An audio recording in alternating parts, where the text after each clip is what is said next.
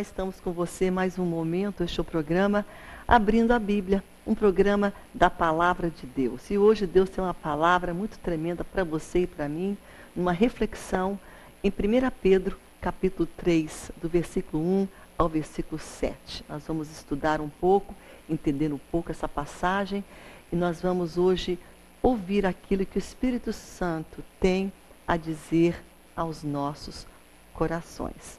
Nós agradecemos e louvamos a Deus pela parceria que o Abrindo a Bíblia tem com a Nelly Modas, com um, uma loja que nos abençoa. Hoje eu estou vestida com o vestido da Nelly Modas e quero nesse momento mandar um abraço para a pastora Nelly, que é a proprietária, e dizer muito obrigada por esse, essa parceria, por esse momento novo aqui no Ministério Abrindo a Bíblia.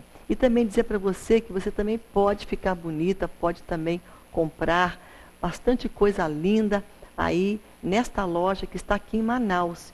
E o número está aí na tua tela para você fazer contato, ligar, para você fazer uma, uma agenda aí para você visitar a loja. O telefone é 9136 3082, tá bom?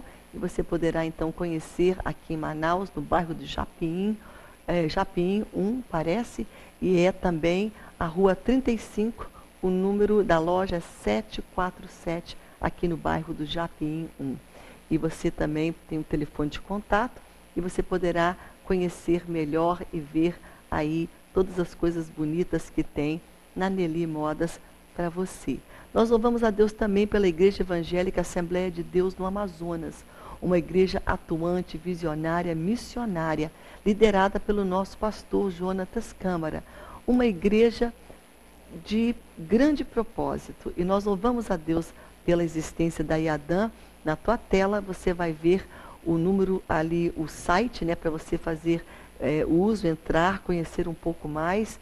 E também nós louvamos a Deus por um braço muito forte da igreja também, que é o braço da área da educação. E nós louvamos a Deus pela Faculdade Boas Novas, uma faculdade de excelência aqui em Manaus também. E a Faculdade Boas Novas oferece muitos cursos.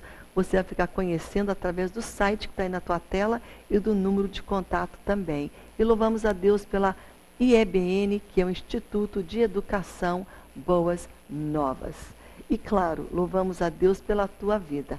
Você que está ligado conosco através da tua audiência, mas também ligado conosco através da tua oração e da tua oferta voluntária, sendo um semeador deste projeto que traz vida.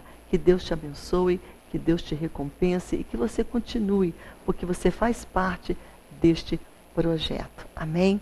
Na tua tela você vai ver um número, e esse número é para você ligar para nós. Nós queremos saber uh, e orar com você, saber a tua causa, né, para a gente poder orar e você vai ligar falando para os nossos atendentes o teu pedido, chegará aqui e nós juntos aqui vamos orar por você e orar com você. É muito bom orar com alguém. Eu sei disso porque às vezes eu estou com uma causa e aí eu gosto de pegar um filho para orar comigo e fala: se você não quiser orar, então só concorde comigo e diga amém, amém. Oração de concordância. E aqui faremos uma oração de concordância uma oração intercessória pela tua vida, pela tua causa.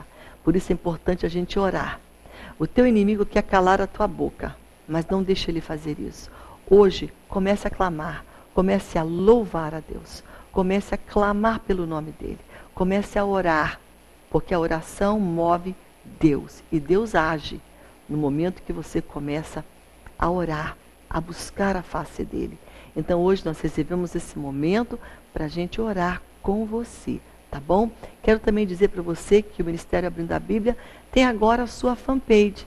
Então você pode aí entrar através do Facebook, você acessa aí ah, o nome que está na tua tela, né? Abrindo a Bíblia, e você já está na nossa página para você curtir, para você comentar também, compartilhar e também colocar ali os teus pedidos de oração e também as tuas sugestões aqui, falar com a gente e também ver uh, ver também o programa que você não pôde assistir. Às vezes você gostaria de ter assistido, mas ali estará já uma reprise. Estaria lá o programa gravado que você perdeu, tá bom? Então, entra aí, dá uma conferida na nossa fanpage para você conhecer um pouco melhor o Ministério da Palavra, o Abrindo a Bíblia. Nós vamos agora para um breve intervalo, nós vamos voltar com você. Se você tem uma Bíblia, abra ela em 1 Pedro, capítulo 3, tá bom? Nós vamos dar uma olhadinha e vamos deixar Deus falar aos nossos corações, porque afinal das contas aqui nós estamos abrindo a palavra dele, tá bom? Daqui a pouco mais eu volto com você.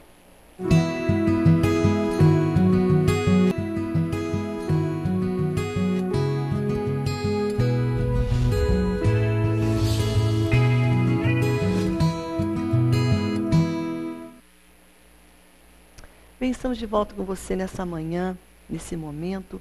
Nós vamos refletir um pouco nessa palavra que tem um subtítulo um tanto interessante, né? Fala assim: os deveres das mulheres e dos maridos cristãos. O nosso comportamento, o nosso dever, as nossas atitudes como esposas e também como esposos. E aqui está é, uma passagem também interessante porque está falando sobre algumas atitudes do coração da mulher que não é casada com um homem que serve Deus, que não é um cristão. E como que ela pode, de uma certa forma, através das suas atitudes, através da sua submissão, através de, do, da presença de Deus na sua vida, que vão fazer com que as suas atitudes venham refletir atitudes de Deus. E essas atitudes serão muito importantes porque são elas que vão fazer com que aquele homem venha querer Deus. Muitas vezes, mulheres oram para que os maridos venham conhecer Deus, para que Deus venha quebrantar o coração deles, para que Deus venha mudar a mente deles, porque Deus muda, Deus transforma, Deus nos dá um novo coração, Ele tira em Ezequiel capítulo 36, diz que Deus tira o coração de pedra e coloca um coração de carne. Isso não é obra do homem, não. O homem não pode mudar ninguém. Por isso, uma mulher não pode mudar o pensamento do seu esposo. E nem um esposo mudar os pensamentos da sua esposa. Você pode orar por ela, orar por ele e falar com Deus. Deus muda, Deus transforma. Deus age, Deus faz. Então nós temos que entender isso. Mas, aliados às nossas orações, nós podemos também entender que nós temos uma parcela de responsabilidade também para que aquela pessoa venha conhecer Deus. Porque do que adianta eu orar pela salvação de alguém que eu amo, por exemplo, o meu marido, o teu marido, e você está orando por ele porque ele não conhece Jesus. E você quer que ele conheça o amor de Deus, que ele sirva a Deus. Então nós temos que entender algo muito forte, de que as nossas orações têm que andar junto com as nossas atitudes. Se a minha atitude for uma atitude de crítica, uma atitude de falta de perdão, uma atitude de impaciência, uma atitude de, de julgar, uma atitude de não companheirismo, uma atitude, sabe, é, maldosa, uma atitude de impaciência e de tudo quanto é outro sentimento, do que adianta eu orar e pedir Deus para salvar aquela pessoa, mudar ela, se eu não tenho atitudes de Deus na minha vida? Então é isso que nós vamos falar um pouco hoje dos dois lados, tanto para a mulher como para o homem. Importante porque Deus me levou uma época a entender esse pensamento, aonde ele falou ao meu coração de que muitas vezes as nossas atitudes desfazem as nossas orações. A gente ora para Deus construir, mas com as nossas atitudes a gente destrói. A gente ora para Deus restaurar, restituir, mudar, transformar alguém que a gente ama, mas com as nossas nossa impaciência, com o nosso pavio curto, com a nossa maneira às vezes grossa de tratar com a nossa impaciência, com a nossa falta de sabedoria, a gente não coopera com aquela oração que a gente fez. Isso Deus mostrou para mim. De que então as minhas atitudes têm que andar junto com aquilo que eu estou orando e pedindo a Deus.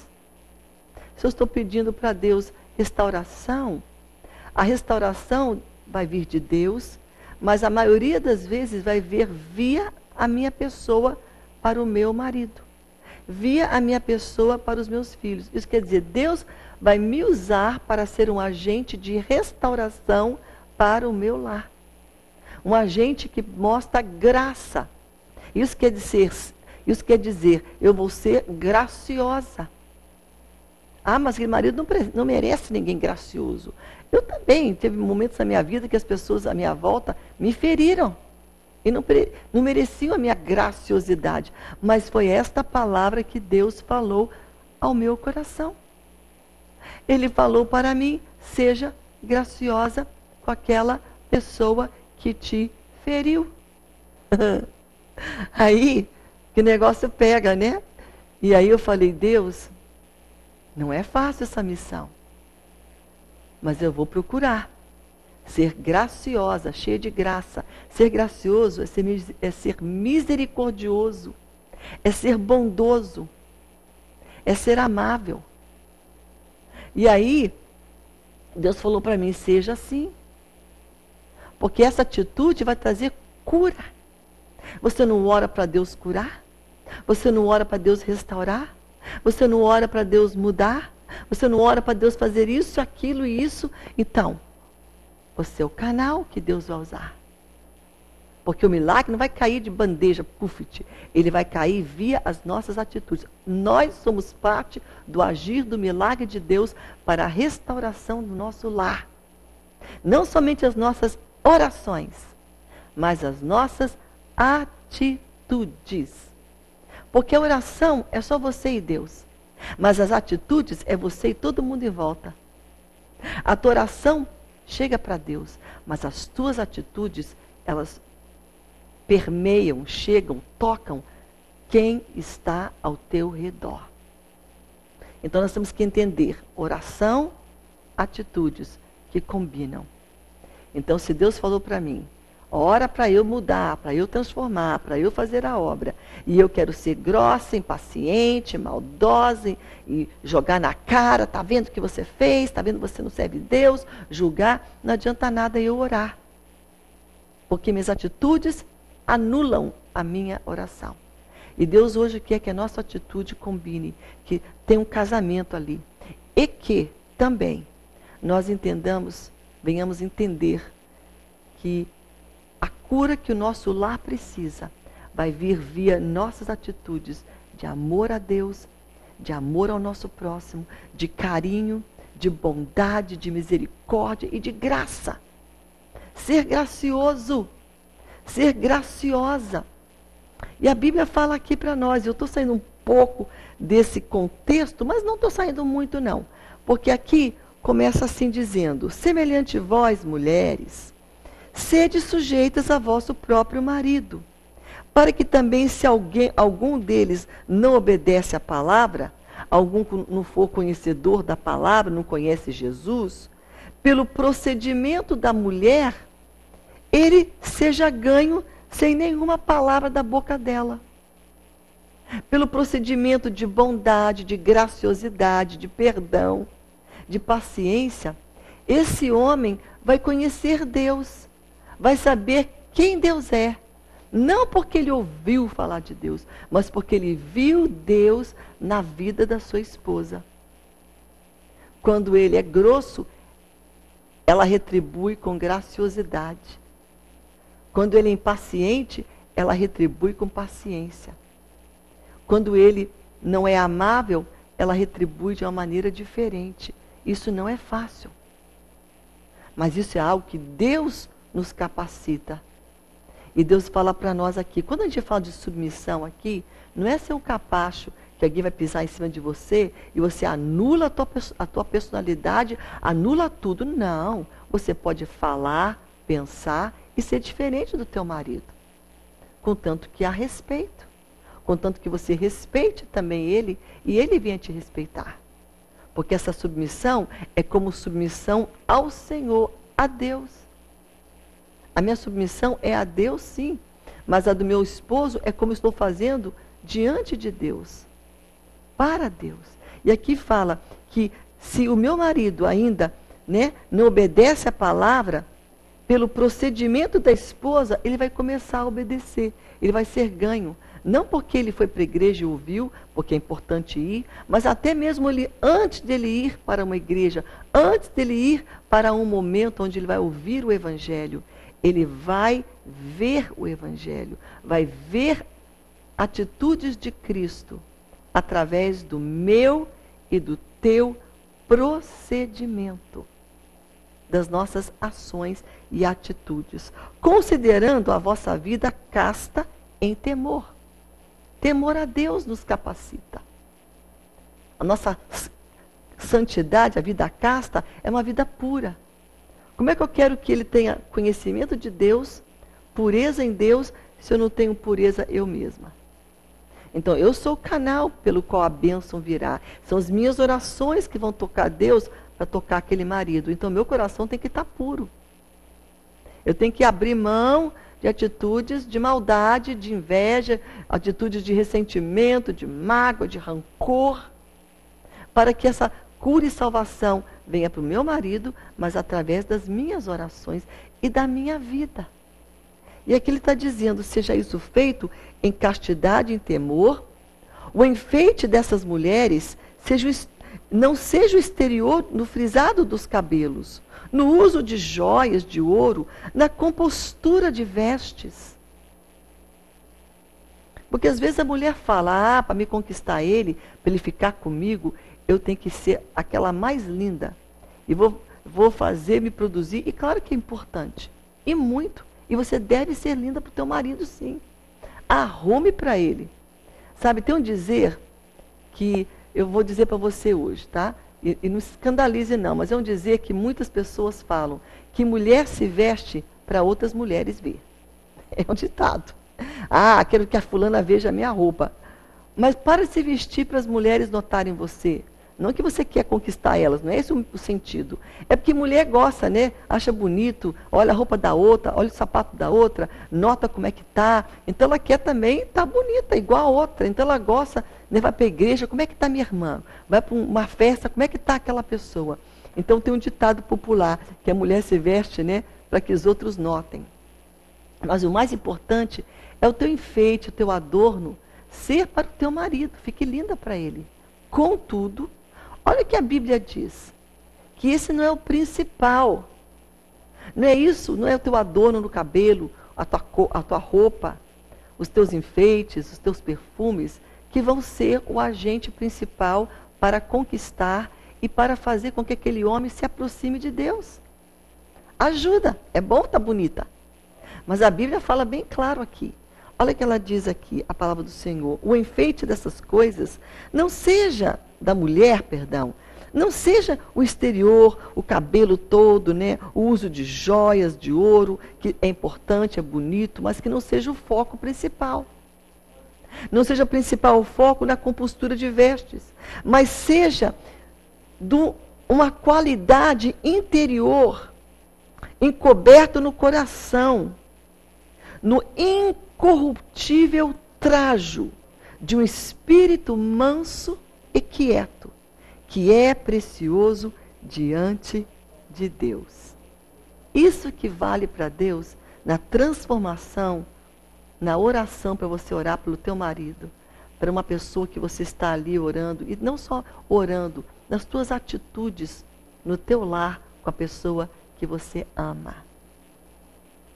Você está entendendo? Aqui está falando de um incorruptível trajo, roupa essa aqui é corruptível, essa aqui a traça vai comer um dia, vai sair de moda, não vou usar mais. Está lindo hoje, né? Maravilhoso. Mas é uma, é, é, são coisas que, claro que a moda volta e vem também, daqui a pouco uns anos está de novo, mas não é isso. Pode ser que os, que os tacinhas vão comer, ficar velho, né? desgasta, lavando, vai embora. Mas o que está falando aqui, que, que não vai embora, é uma atitude interior que está falando aqui. O enfeite delas não seja o exterior, mas o homem coberto no coração. O homem que é mulher, está falando aqui do, da raça humana, da pessoa. Que o interior dessa pessoa seja encoberto no seu coração. No quê? No incorruptível traje de um espírito manso e quieto. Esse vai ser o meu traje para conquistar e fazer com que a minha família venha a Jesus, especialmente meu marido. Se você é essa pessoa. O meu já tem Jesus, graças a Deus. Mas se você tem está orando e precisa de um marido que sirva a Deus. Você vai ter essa atitude de o que? Uma vestimenta não só exterior bonita para ele, mas de um traje de um espírito manso, mansidão, uma atitude branda, amável e de um espírito manso e quieto, que é precioso diante de Deus. Mais precioso que essas joias que você usa, mais precioso que essa roupa de marca, mais precioso que esse lindo cabelo, mais precioso do que qualquer coisa que você faz é, ou seja, Deus ama quando uma mulher tem esse, esse adorno interior também. O adorno de um espírito manso, e quieto. Esse quieto não é aquela mulher caladinha que fica no cantinho falando sim, senhor, não, senhor. Não é isso, não. Um espírito que não é argumentativo, briguento. Um espírito que não, sabe, eu não levo desaforo para casa. É esse espírito que Deus está falando aqui. Daquele espírito rixoso, que tem contenda, que tudo é motivo de contenda. Olhou, já está contendando. Fez um elogio, já é contenda. Não fez elogio, já é contenda. Fez uma coisa para agradar, já é contenda. Não fez, já é contenda. É isso. De um espírito briguento, rixoso, de contenda, de dissatisfação, que reclama de tudo. Deus está falando que esteja em nós. Porque às vezes a gente se preocupa tanto com o exterior, né? É, a gente preocupa, como é que está? Como é que está o cabelo? Como é que está Estou malhada, estou andando, estou bonita, o peso está bom, estou maquiada, estou com roupa bonita. A gente olha muito para o exterior. Eu conheço uma pessoa no passado, já há muitos anos, me falou que ela passava uma média de quatro horas numa academia. Eu pensei, meu Deus do céu, que perda de tempo. Me desculpa aí. Porque então, se, se a gente for passar tanto tempo no nosso corpo aperfeiçoando ele, temos que passar também de igual proporção tempo aperfeiçoando o mais importante, que é o nosso caráter, o nosso homem interior, a nossa alma. Revestindo ela, tendo ela e vendo que ela deve ter uma atitude, como diz a Bíblia, de uma pessoa mansa, de uma pessoa amável. Cuidar do nosso interior é mais importante, eu diria, do que do exterior. O exterior é importante e você vai cuidar bem dele. Mas, de igual modo, precisamos olhar como está o nosso coração. Como está a qualidade que vai verdadeiramente conquistar aquela pessoa para Deus. Neste caso, é o teu marido, que precisa de Deus. Não vai ser só nos teus adornos, na parte exterior, que você faz tanto para conquistar. Vai ser dentro de você, atitudes interiores. E aqui diz bem claro isso. Vamos voltar a ler antes a gente ir para o nosso intervalo. A gente vai para o intervalo agora, mas vamos ler aqui. Mulheres sejam sujeitas, porque se algum homem com quem, né, ou a pessoa que você está, o teu esposo, não conhece a palavra, pelo seu procedimento, ele vai ser ganho sem você ficar falando. Considerando a sua vida casta em temor. Né? Quem que vai considerar? O teu esposo vai ver a tua vida casta, vai ver a tua vida santa, vai ver algo diferente. O enfeite dessas mulheres não seja no exterior, no frisado do cabelo, no uso de joias, não é? nas vestes, mas o homem coberto no coração, aqui dentro, do interior, no corruptível trajo de um espírito manso, trajando, vestindo uma atitude mansa e quieta, que é preciosa diante de Deus, porque assim se adornavam também antigamente as santas mulheres de Deus, que esperavam em Deus e estavam sujeitas ao seu próprio marido. Como Sara obedecia a Abraão, chamando-o de Senhor, da qual vós sois filhas, fazendo bem e não temendo nenhum espanto. Aqui está falando de reverência, está falando de submissão, de respeito. E é interessante, essas palavras, elas são fortes. E a gente pode, procura traduzi-la aqui para o nosso dia, para o nosso contexto, para o nosso momento, de que nós precisamos também, apesar de nós termos tantos né, momentos assim onde há tantos movimentos feministas e a mulher tem que ser projetada, mas a mulher foi criada livre para adorar a Deus. Mas quanto mais ela obedecer a Deus na sua palavra, mais liberta e livre ela será. E mais bondade e vida de Deus será vista na vida dela. E é isto que vai conquistar aquele homem para Deus. Aquele marido que desesperadamente precisa solução na sua vida. Precisa de Deus, precisa de amor, precisa de graça, de alguém que seja gracioso, perdoador, que não seja rixoso, mas amável. É isso que aquela pessoa precisa. Para que um dia ele chegue a Jesus. Não porque alguém ficou discutindo, falando, mas pelas atitudes de um espírito manso e quieto, de uma atitude interior de amor e graça. Essa palavra de Deus hoje ela é forte para a gente hoje. Mas é uma palavra que não vai terminar aqui para as mulheres, não. Homens, se preparem, porque agora é a vez de vocês, tá bom? no versículo 7 a gente vai voltar falando sobre este este versículo tremendo, né? Eu tinha um pensamento aqui que eu vou voltar aqui nessa passagem sobre a beleza, né? É, sobre o espírito é, tranquilo, o espírito é, de, uma, de um coração manso. Mas eu, no próximo bloco eu volto falando sobre isso, tá bom? Que está aqui em 1 Pedro capítulo 3, versículo 3, versículo 4. Palavra de Deus, hoje para nós. Eu vou rapidinho para o intervalo e volto daqui a pouco mais com você.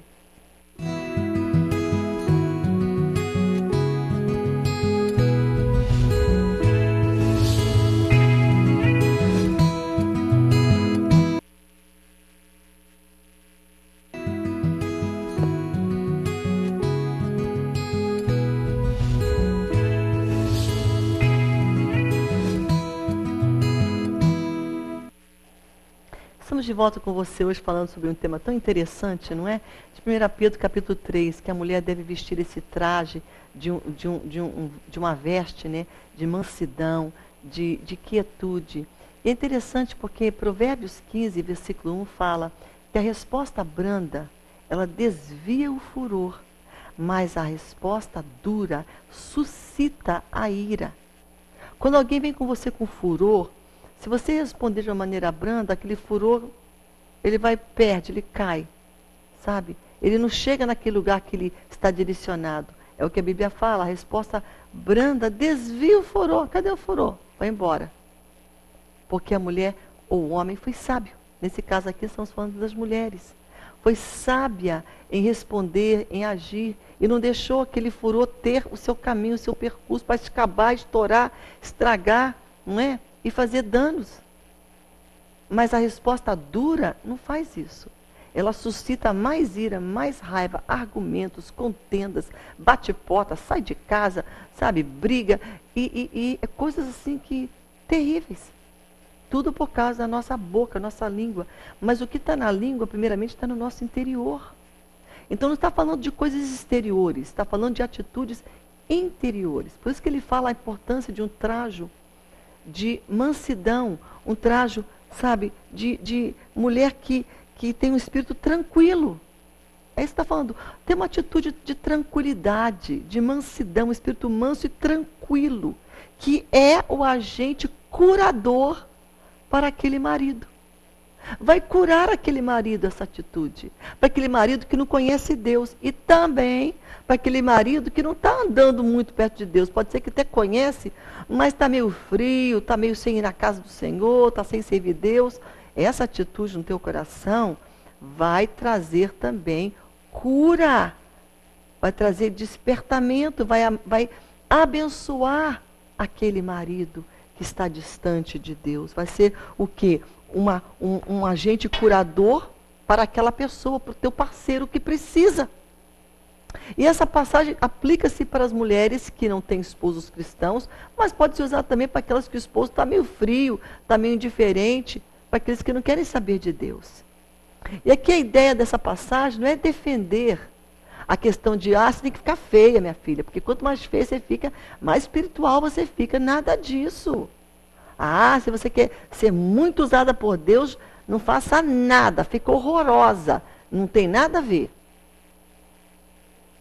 Você pode ficar bonita e ainda orar, buscar Deus e ser um agente de cura para a vida do teu marido.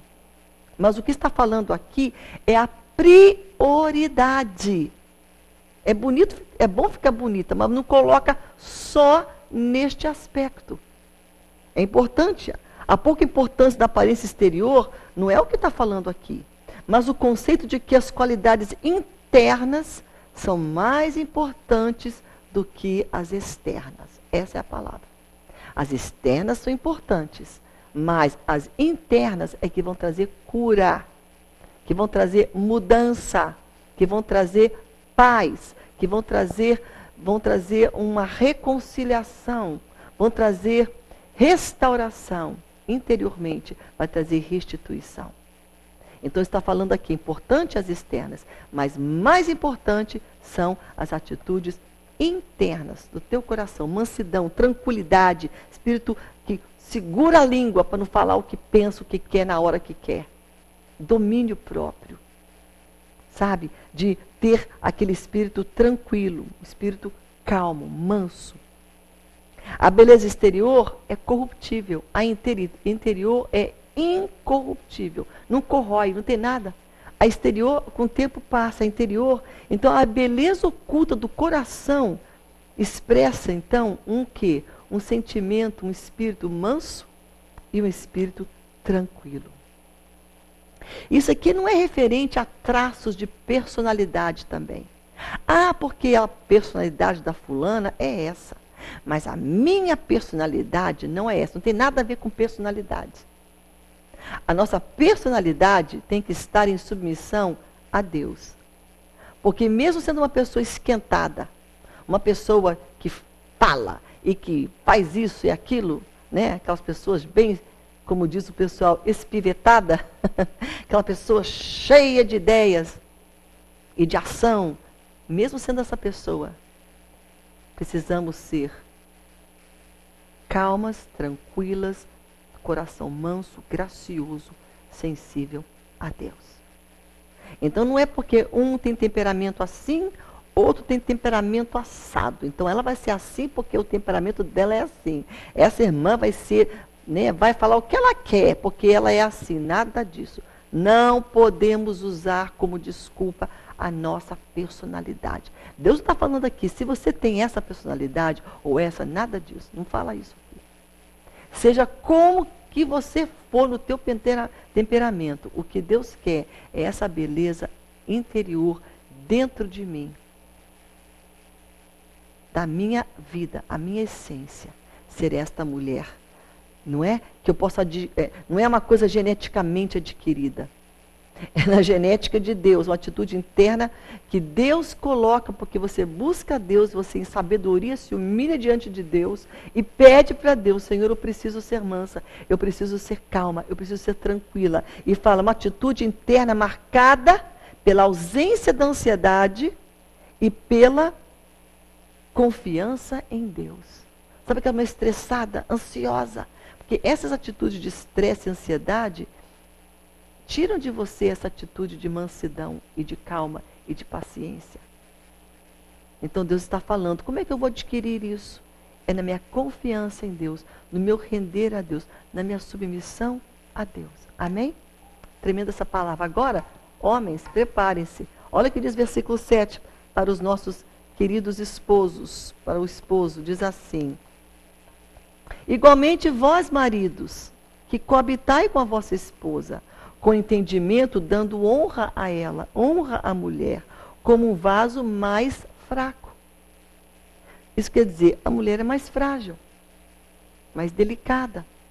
Como essa mulher que você cuida dela, dê honra a ela. Não olhe para ela, ela é igual eu. Não é, não. ela é mais frágil, ela é mais delicada no seu, em todos os aspectos. Ela pode trabalhar, pode. E claro, eu, eu falo aqui que a gente é forte também. Não estou dizendo que a gente é fraca, não é isso que está dizendo. Porque quem tem filhos é a mulher. E parir um filho não é coisa de brincadeira, não. É uma coisa muito, muito de garra e força. Então, a mulher que a ela foi dada a gerar um filho é forte. Mas está falando aqui na sua essência, na sua. É, ela, ela se fere facilmente. Ela, então, com cuidado, dando a ela, porque ela é o vaso mais fraco. Como sendo vós os seus cordeiros da graça da vida. Então, cuidado, homens, como vocês tratam as suas esposas, para que não sejam impedidas as vossas orações. Claro que essa palavra aqui pode ser para os dois. A mulher também tem que vigiar como ela trata o seu marido, para que a oração dela não seja impedida também. Mas aqui está falando para o homem também, e mais especificamente para ele. Está falando igualmente os vós maridos. Cuidado. Porque tem marido que distrata a esposa, que vai para a igreja, que serve Deus. Está lá. Mas distrata, é impaciente, não é amável, grosso. Tem uns que até batem na sua esposa. Covarde o homem que bate numa mulher. E aí está ali fazendo maldades, aí vai para a igreja, se ajoelha e ora, e vai lá e ora e jejua. Não adianta nada, meu irmão. Porque aqui está falando para que não sejam impedidas as vossas orações. Porque se você está distratando e não sendo amável e cortês e bom para sua esposa, as tuas orações vão ser impedidas. Vão chegar aqui e não vão passar, vai ter assim uma cortina de ferro. Não vai chegar no céu. Vai subir ali, vai bater naquele ferro, puf, e vai descer de volta. Não vai ser respondida a tua oração. Para você que é abusivo, para você que maltrata a tua esposa, para você que está aí na casa do Senhor, não dá dinheirinho para ela, não dá uma coisa, pode ser que ela não trabalha, não tem o sustento dela. E ela depende de você. Não é amável, não é cortês, não é educado. Aí quer orar para Deus te prosperar, para Deus te abençoar, para Deus fazer isso. Deus não vai fazer isso, não, meu irmão. Até que você trate bem a esposa que Deus te deu. Então, cuidado, homens, como tratam as suas esposas. Não é eu que estou falando isso, é a Bíblia. Tira o corpo fora, não faz que era feia para mim, não, meu irmão. Se você está me assistindo hoje e você não é amável, e você é grosso, e você é educado com todo mundo na rua, uma belezinha, sorri. Chega em casa, cai o sorriso. Carrancudo com a esposa. Pede licença, por favor, com todo mundo. Esposa, você manda sem falar com licença, por favor, sem dar um sorriso, sem ser cortês. Aí você é paciente com todo mundo, a paciência. Chega em casa impaciente. Aí você é educado. Aí em casa você bate as coisas. A Bíblia fala que as tuas orações serão interrompidas. Não vai ter resposta para a tua oração. Deus não vai te ouvir. Porque você não está tratando bem aquela pessoa que Deus colocou para você como um presente, a tua joia rara de valor que está aí na tua casa que é tua esposa. Ah, mas ela faz isso, ela faz aquilo. Não tem, olha, mesma coisa para a esposa também, não tem. A gente tem que entender que se nós queremos ser abençoados, nós temos que ser agente de bênção. E agente de bênção não é só dar coisas, é abençoar com as nossas atitudes interiores abençoar com paciência, abençoar com tranquilidade, ausência daquele estresse. Ele vem, o estresse vem, todo mundo fica estressado, mas confiar em Deus para que nossas atitudes sejam amáveis. Para a gente não entornar o caldo, quando vem uma palavra de fúria, sabe, deixa aquela palavra cair com a tua atitude de responder aquela palavra. Mas voltando aqui para os maridos. Cuidado como você trata a tua esposa. Porque ela pertence a Deus primeiro. Antes dela ser tua, ela é de Deus. Antes de ser tua esposa, ela é filha de Deus. feita à imagem e semelhança de Deus, está mexendo com Deus. E as tuas orações não serão respondidas. Se você quer oração respondida hoje, meu irmão, reveja não somente como você com a tua esposa, mas os teus filhos também, a tua família, para que Deus venha te abençoar e te prosperar. Que passagem forte, né?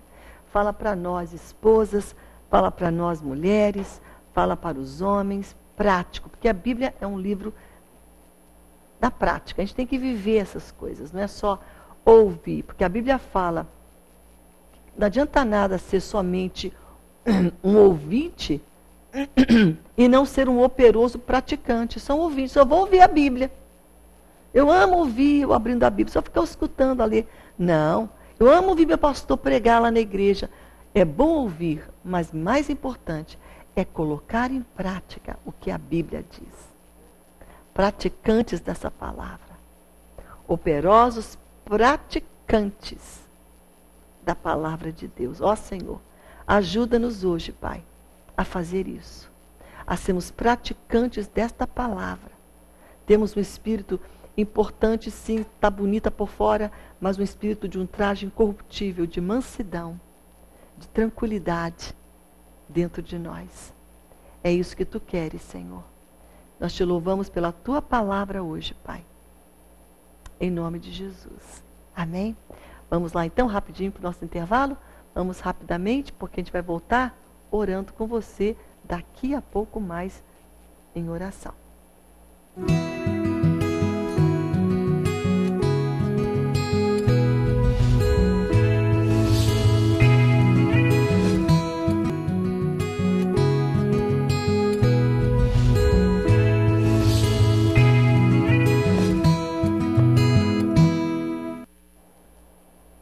Estamos de volta com você nesse momento, momento precioso, momento de oração. Amém? nós vamos orar neste momento pela vida da Silene, pela sua vida física, sua vida emocional, sua vida espiritual, por toda a sua família, em especial pelo seu irmão, o Lucimar. Amém? Pela saúde dele. Vamos orar também pela família do, é, pelo Fernando, para Jesus libertar ele dos vícios. Fernando é de Imperatriz Maranhão. Que Deus te abençoe, meu irmão. Vai orar nesta hora. Vamos orar também pela saúde da Maria Bernadette. Vamos orar também pela Raimunda, pela sua saúde e a sua vida espiritual. Orar pelo casamento da Maria Nailê, pelo seu esposo Raimundo Nonato. Vamos orar também pelo Felipe, que é o filho da Maria, está com depressão desde que o pai faleceu há um ano. Vamos orar para Jesus consolar e para o Espírito Santo tirar essa dor profunda. Deus consola. Sabe? Ajuda ele, Maria, nas tuas orações, especificamente dessa maneira, tá bom? Para que o Senhor venha tratar o coração do Felipe. De uma certa forma é normal, sabe, a gente ter tristeza por uma pessoa que a gente perde, mas não é bom a depressão, né? Então nós vamos orar especificamente por esta causa e também pelo Paulo Roberto, pela sua filha Líria e também por uma causa que ele tem na justiça. Vamos orar também com o José pelo seu para ser batizado no Espírito Santo. Ele tem é, ansiedade para ser batizado. Meu irmão, não fique ansioso. Amém? Eu vou dizer uma coisa para ti. O dia que Deus me batizou no Espírito Santo foi o dia que eu menos achei que eu fosse ser. Eu buscava, buscava, e o dia que eu estava mais rouca, que eu falei, hoje eu não vou ser, porque eu não posso nem falar, foi aquele dia que Deus me batizou. Onde eu achava que não tinha condições. Então, busque Deus, se humilhe diante do Espírito Santo, não pare de buscar, se entregue, se renda a Ele. Quanto maior a rendição, mais Ele vai ser o Senhor na tua vida. Ele vai então ter o espaço que Ele deseja na tua vida. Amém? A gente vai estar orando por você, meu irmão. E orar também pela essa pessoa que dá somente as suas iniciais, não tem problema, porque ela está pedindo para uma porta de trabalho. A gente vai orar com você, meu irmão ou minha irmã, tá bom? JRN. Vamos orar para Jesus abrir essa porta para você. Gilberto, agradece a Deus pela mensagem. Gilberta, pela vida. Amém. Deus te abençoe, querida. Vamos orar pela Natalina, pelo seu casamento. Ela foi traída pelo seu esposo, está muito magoada, sabe? Natalina, eu já passei por essa dor. Mas nós precisamos entender que a mágoa ela é de de uma forma normal, é algo que vai acontecer. Mas a gente não pode viver nessa mágoa e dar espaço para a nossa vida ficar só nela, porque a mágoa chama outras coisas ruins, chama o ressentimento, chama a amargura, aí a mágoa não se contenta, ela chama o rancor para fazer companhia. Aí é perigoso. Aí tira a alegria da tua vida, tira, sabe, muita coisa da tua vida. O teu andar com Deus fica comprometido. A nossa, a nossa vida diante de Deus, com essas atitudes. Por isso, você vai perdoar o teu esposo, mesmo que machuque. O perdão é um passo que a gente se humilha, porque a gente abre mão dos nossos direitos. Mas Deus vai te dar recompensa, porque tem honra para aquele que perdoa. Tem recompensa. Amém? Então você vai pedir ao Espírito Santo para lhe ajudar, bom? A gente vai orar com você também, Natalina. E orar também pela Doraci, pela, pela sua saúde, pela porta de emprego, pela sua filha, a Amanda. Vamos orar também pela porta de emprego na vida da Adriana, que está orando também pela libertação do seu esposo, do José, por todos os seus familiares. Vamos orar por essa família, orar pela Ke pelo Kennedy, pela sua saúde, pela sua família, pela sua esposa e pelos seus filhos. Vamos orar por todos os pedidos aqui mencionados, pelo Felipe, que está com depressão, pelo Paulo, pela sua filha Líria, pela saúde também da Edna Dan, Danas, Edna de Santa Catarina, olha só, Florianópolis. Vamos orar por toda essa família que precisa também de salvação. Deus te abençoe, querido, querida. Vamos orar também pela, pelo casamento, né? Da Maria e com o Nonato. Acho que já li todos aqui que estão aqui. E também pela Gilberta, pela Natalina, pela Doraci, pela filha Amanda. Vamos orar por todos aqui mencionados. Pai, em nome de Jesus, nós colocamos agora essas pessoas queridas que precisam hoje de uma porta de emprego, Pai. Nós oramos agora pelo JRN, Senhor, que venha, Senhor, colocar as tuas boas mãos que venham abrir portas para esta pessoa hoje, Pai. Aonde não há uma porta, Pai, Tu és Deus de provisão, Tu és Deus de solução. Nós oramos, Pai, em nome de Jesus, de igual modo pela vida da Adriana. Que Tu venha, Senhor, abrir portas de emprego, Senhor, para Adriana, para esta pessoa que não diz o seu nome, mas precisa tanto, Senhor, dessa bênção. Nós oramos também, Senhor, para a vida da Doraci, Senhor por uma porta de emprego, Pai, pela Adriana, Senhor. Nós oramos nesta hora, Pai, em nome de Jesus, pela vida das pessoas que estão aqui necessitados, não só as que estão aqui, mas que estão comigo agora, escutando, Pai, a voz, a minha voz, onde ela chega. As pessoas que estão orando, te clamando, Pai, Tu és o Deus que abre portas aonde não existe uma porta. Senhor, provê de uma maneira milagrosa e poderosa. Em nome de Jesus nós oramos e clamamos. Em nome de Jesus, como uma igreja, nós juntamos como um corpo aqui, juntos estamos clamando uns pelos outros. Nós oramos agora, Pai, em nome de Jesus, pela vida espiritual e saúde da Raimunda, Senhor. Nós oramos nesta hora, Senhor, em nome de Jesus, pela vida espiritual, emocional, da vida da tua filha, Senhor, Silene, Pai. Nós oramos em nome de Jesus pelo irmão dela, Lucimar. Venha tocar, venha libertar. Nesta hora, Pai, nós oramos para que tu venhas libertar o Fernando. Senhor, eu não sei o que, que está amarrando este homem, mas tu és um Deus bom, um Deus amável, um Deus de misericórdia. Chega ao teu Fernando agora lá em Imperatriz. Tu estás em todos os lugares. Pai, toca nele agora, Pai. Venha estar com ele, que a tua palavra venha estar dentro dele. E a tua palavra diz que conhecereis a tua palavra, conhecereis a tua verdade, e a tua verdade nos libertará. Liberta o Fernando destes vícios, Senhor. Liberta nesta hora também o Felipe, Senhor, dessa depressão. Senhor, cura ele agora, Pai, em nome de Jesus. Nós oramos, Senhor, pela vida desses que estão, Pai, amarrados, Senhor. Nós oramos pela salvação da família da Edna, oramos pela saúde, oramos pela causa do Paulo Roberto. Deixa com ele agora, Pai, nesta causa. Esteja com teu filho, Pai, nesta causa judicial, o teu filho que ama a tua palavra, que sempre está ligado aqui neste ministério. Esteja com ele agora, Senhor, com a sua filhinha, a Líria, Senhor, toca nela. Toca agora também todos que estão aqui na saúde, Senhor, do Kennedy, dos seus filhos, da sua esposa, Senhor.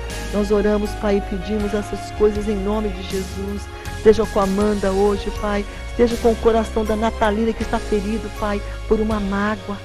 Espírito Santo, ajuda ela nesta hora a entender a importância que não é somente importante, é imprescindível, o perdão é necessário para que nós tenhamos comunhão, tenhamos intimidade contigo, tenhamos vitória. Ajuda ela, Senhor, a perdoar. Ajuda, Senhor, a Gilberta, Senhor. Ajuda, Pai, a cada um aqui, Senhor. Ajuda o teu filho José. Ele quer ser batizado no Espírito Santo. Renova e batiza ele, Pai, com fogo do teu Espírito Santo. Batiza ele com fogo, Senhor, do teu Espírito Santo. Visita ele, Senhor, e batiza ele. Na calada da noite, quando ele te buscar, Senhor, das madrugadas, nos momentos a sós, que ele possa sentir a tua presença, Espírito Santo, e ser batizado. Em nome de Jesus, nós oramos e colocamos estas vidas preciosas. Liberta, Senhor. Faz obras que nós não podemos fazer és Deus que faz o que o homem não pode. És Deus que quebranta, que tira dureza, que muda a essência, que muda pensamentos, que transforma corações. Nós te pedimos, nós te adoramos, nós te suplicamos. Em nome de Jesus. Amém. Amém. Amém. Creia. O teu milagre já está a caminho. O teu milagre está, está a caminho porque você está orando. Ore Deus trabalha para aquele que espera nele. Esperar em Deus é orar, é louvar, é buscar, é ler a palavra. Está esperando em Deus? O teu milagre já está chegando, tá bom? Fique na paz de Deus, na graça dele, nessa meditação de hoje, de 1 Pedro, capítulo 3, que foi tremendo.